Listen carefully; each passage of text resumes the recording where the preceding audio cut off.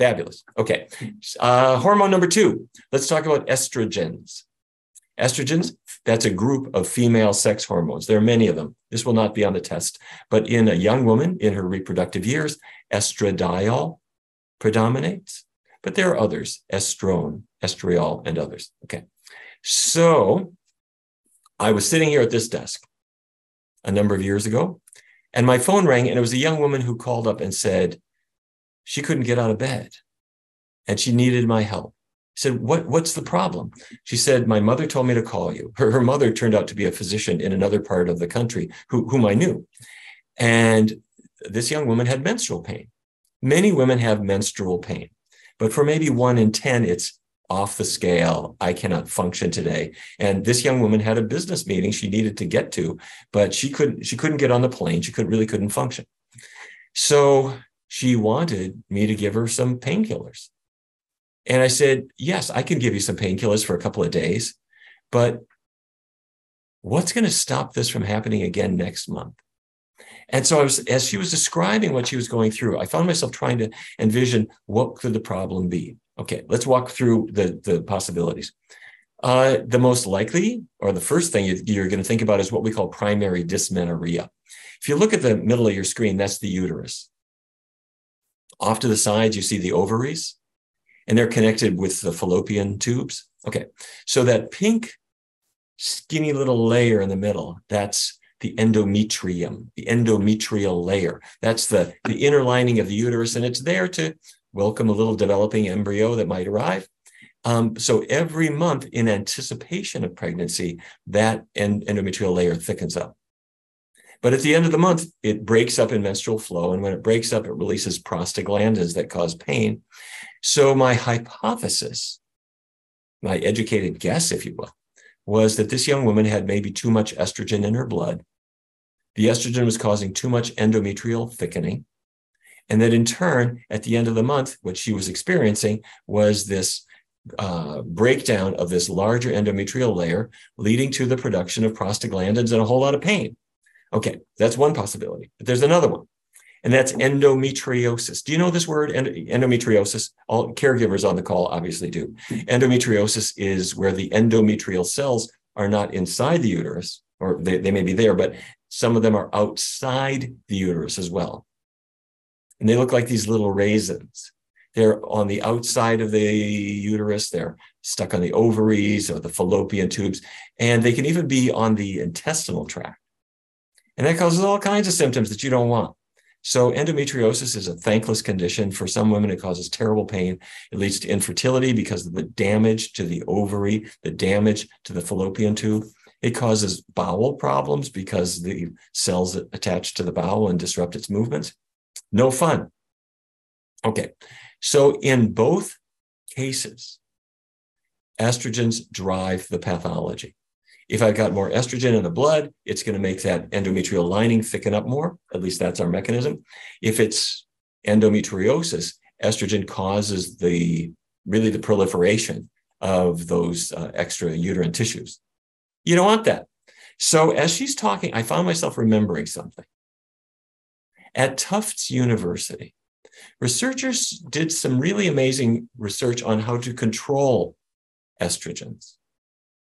They brought in 48 premenopausal women, women during their reproductive years. They put them on a metabolic ward and they gave them isocaloric weight maintaining diets, meaning you're going to make the diet so that nobody's weight really changes, but you give them a short diet that reduces the fat content.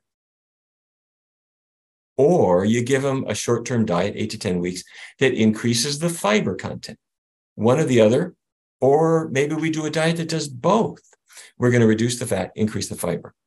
And what they discovered was that just reducing the fat in the diet causes estradiol and estrone, other estrogen fractions, to diminish.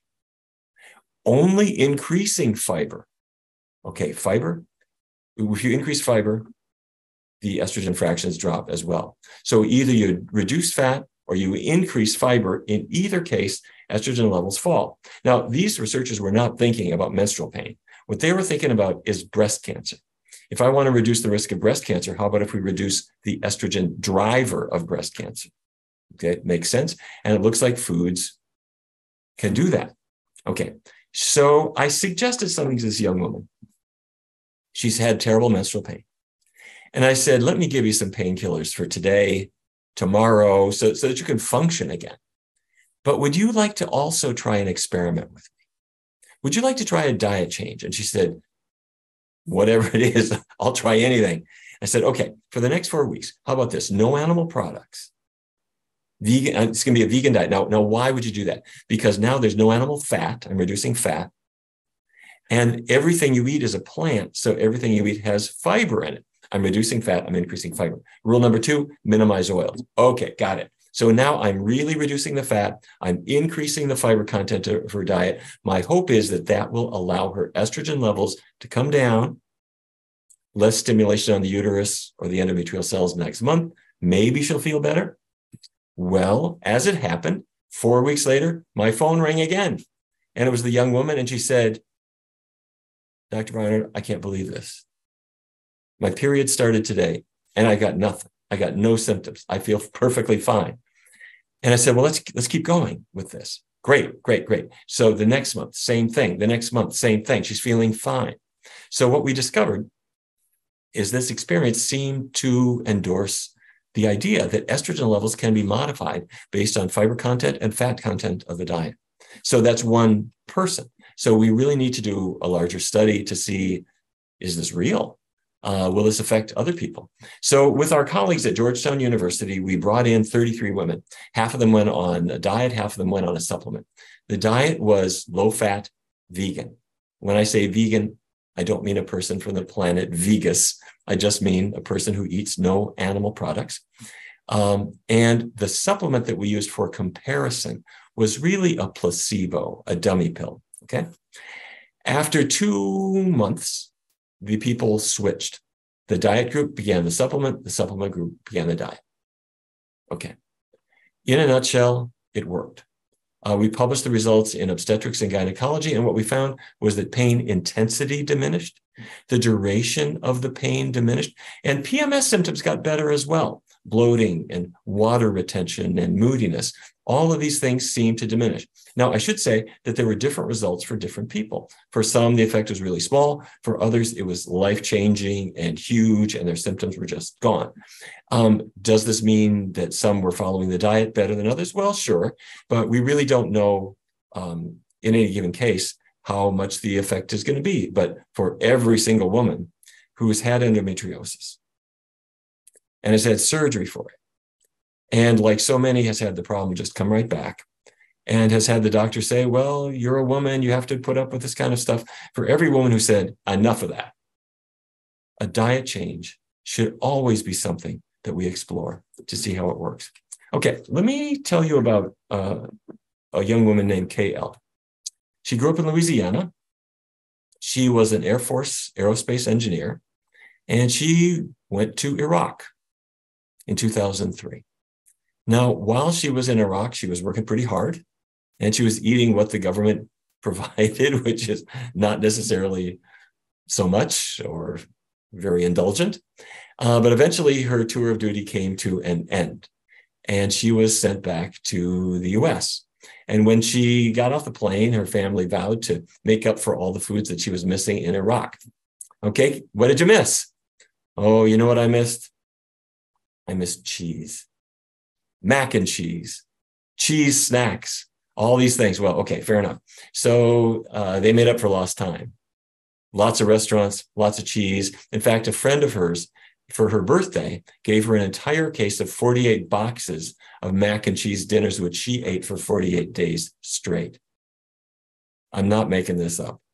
Well, what happened? She gained weight, but she also developed abdominal pain, they became more and more severe and turned out to be endometriosis.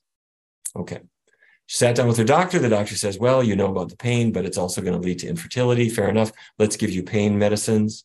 Let's give you hormonal treatments. Let's see what we can do. It really was not doing the job.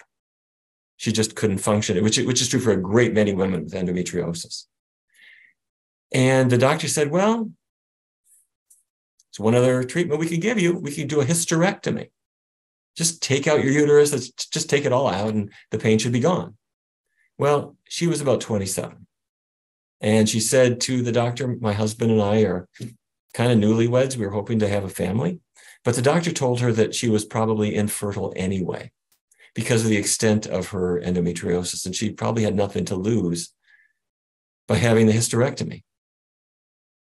Okay. Well, she decided, all right, I'm infertile anyway.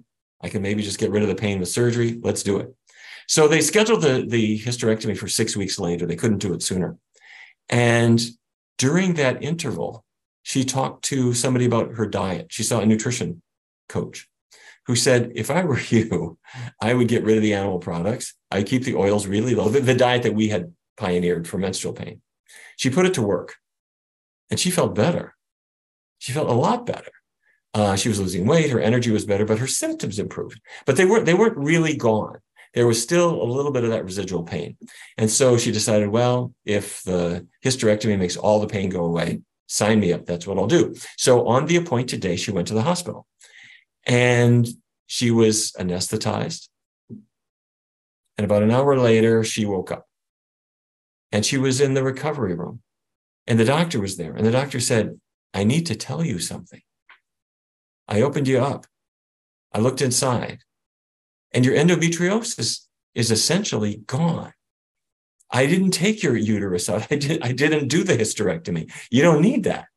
The reason that you had some residual pain is that you had scarring and you had adhesions where the where the endometriosis used to be.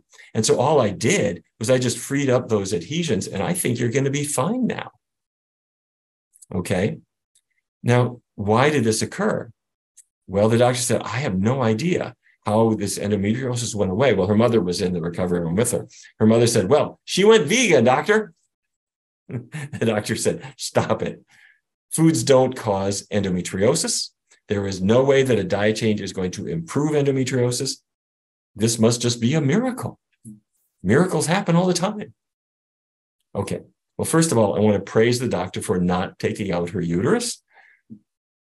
But I think he was maybe uh, not aware that diet affects estrogen levels and estrogens drive endometriosis. Um, the work that was done at Tufts, that was done at other major medical centers, was apparently not well known. But a diet change makes estrogen change. And when it, when estrogen levels diminish, endometriosis doesn't have so much drive anymore. Okay. So what happened? Well, she lost weight. She felt better. And for her and her husband, maybe best of all, is she wasn't infertile. After all, they have three children now. So there you have. In fact, she's uh, decided to become an instructor to help other women to change their lives.